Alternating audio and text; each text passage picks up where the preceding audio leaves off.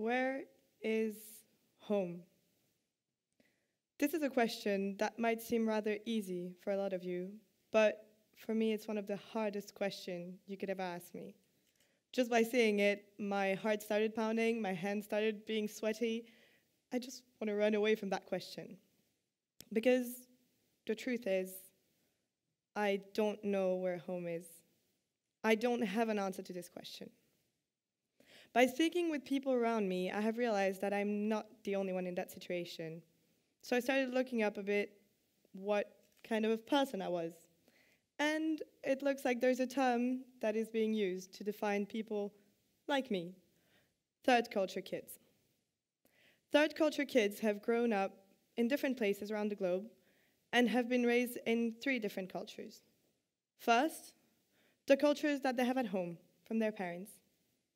Second, the culture from the place they live in.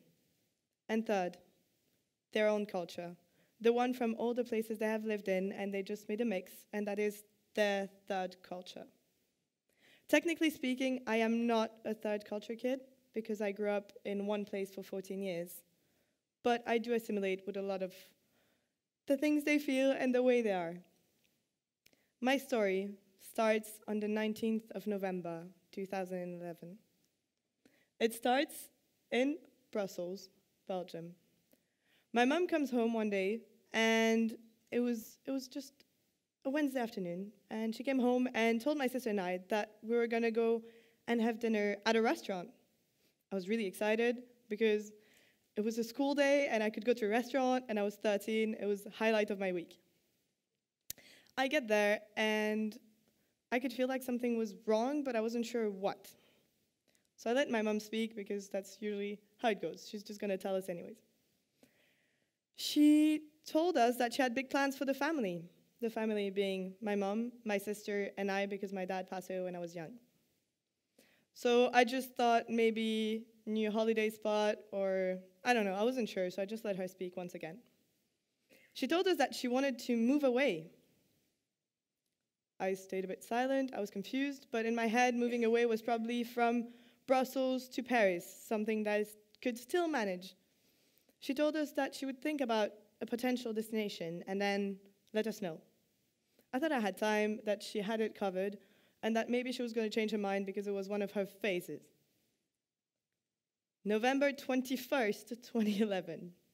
We're back in our favorite restaurant with the not so favorite conversation topic.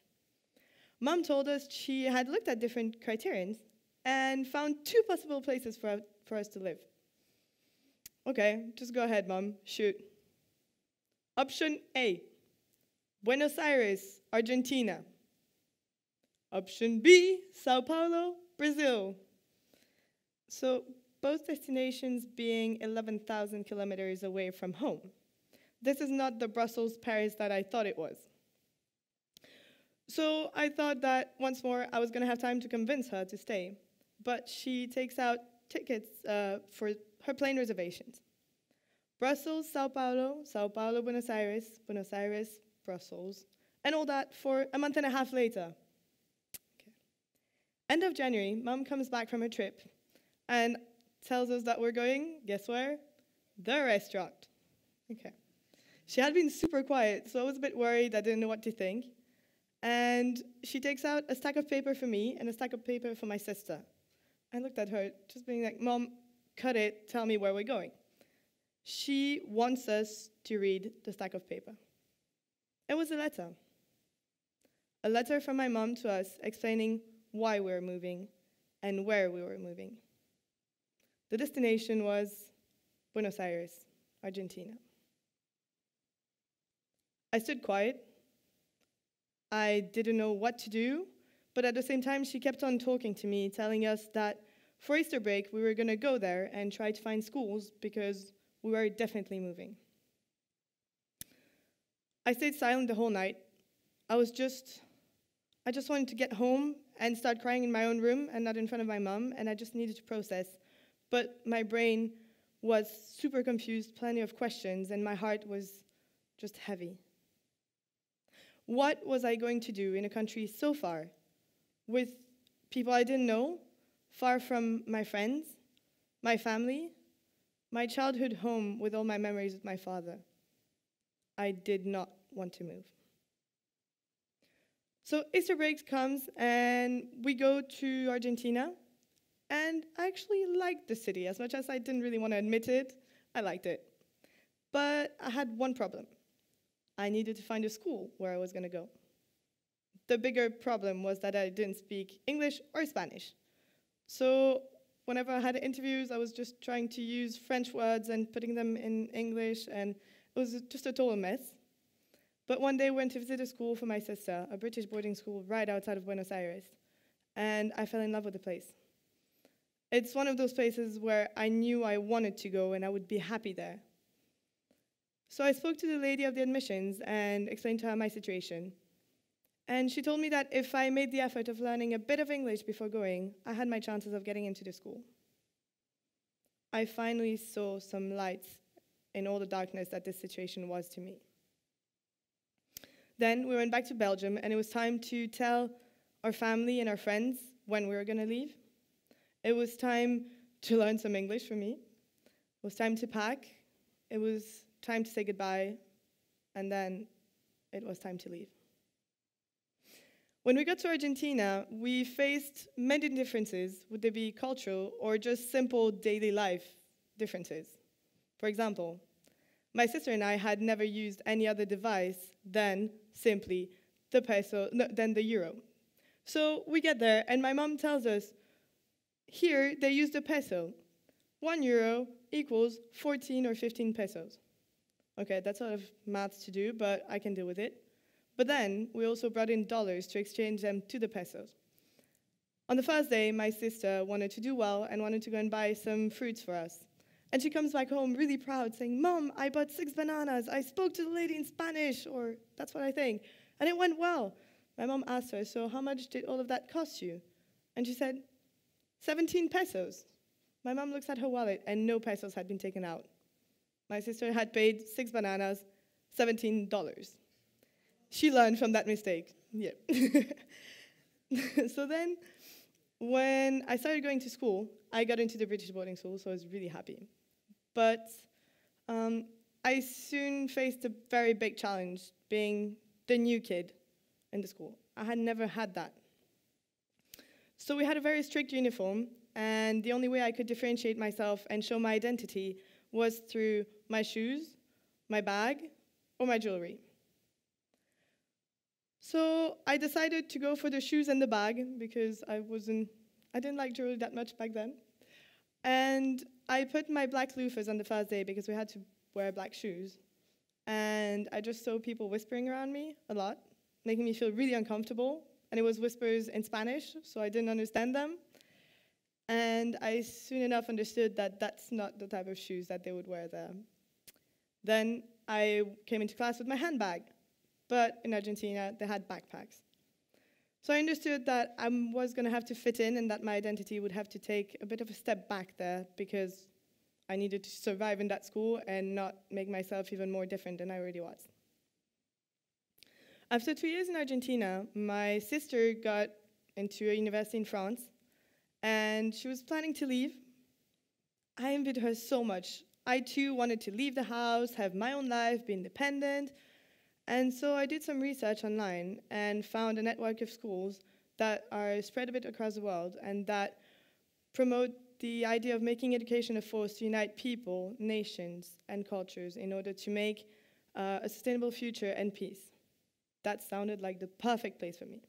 So I applied to this network of schools and was selected after a few rounds of interviews to be the Belgian representatives to the school in the kingdom of Eswatini, which back then was still Swaziland. So it's lost in the middle of South Africa, but it's beautiful.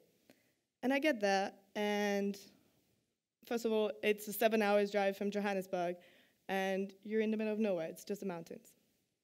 So the school is up a hill. I get up the hill and see this beautiful boarding school, 600 students, 60 different nationalities represented. I felt at ease because I felt like I wasn't the only one who had been through different moves, and most of them had been moving there themselves, so they knew what I was going through. I felt less lonely.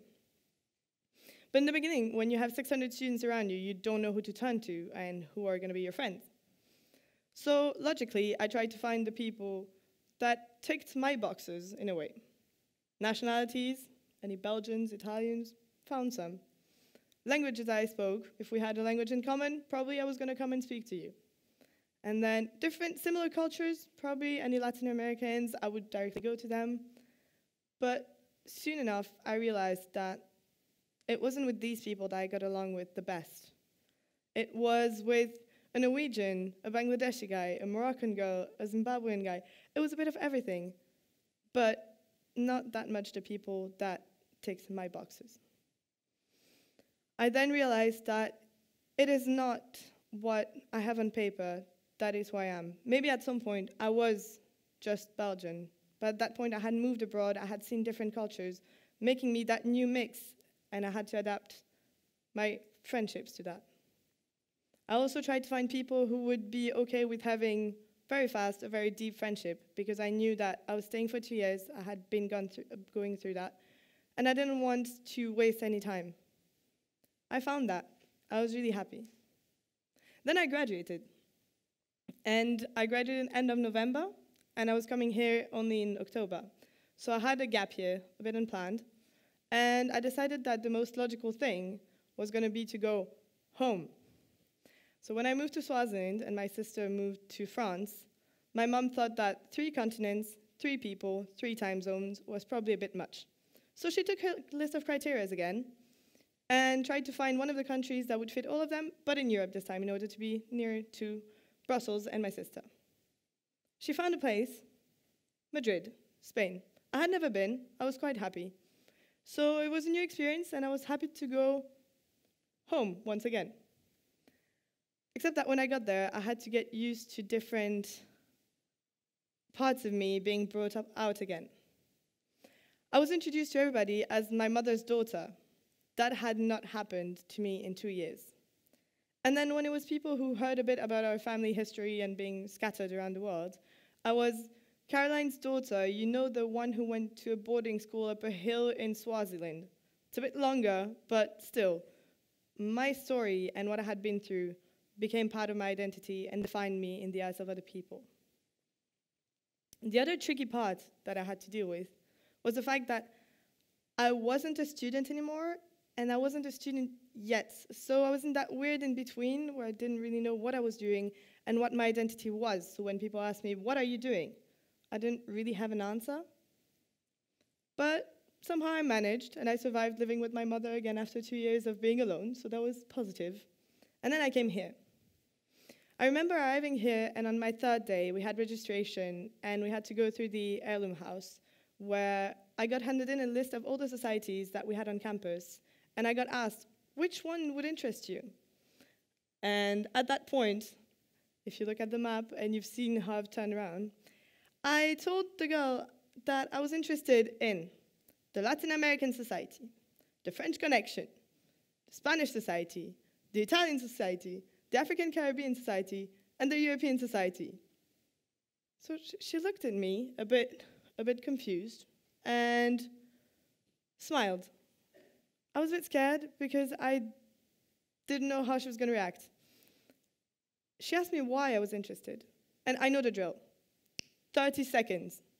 You can summarize your, your whole story, and then after that, either they smile and they're interested and you can go on, or they just look at you and you might as well just change the topic and talk about the weather because that's going to be the safest bet. So in that case, she was smiling, so it was positive. And she just nicely told me, you know, I think you have an amazing life experience, and all these societies will help you foster all these little parts of you. And at that point, I felt like I had found a place where I belonged. So, through all the moves, the ups, the downs, the cultures, the people, I have learned a lot of things about myself, but about what identity is in general. About myself, I have learned that I am an observer. I will observe a lot of people around me, and not in a good way, just because I am used to observing and replicating what I see in order to survive in a new environment. I also know that I am used to saying goodbye So sometimes I'm harsh in my friendships and I don't always see everything around me because I just want to enjoy it as much as I can because time is limited.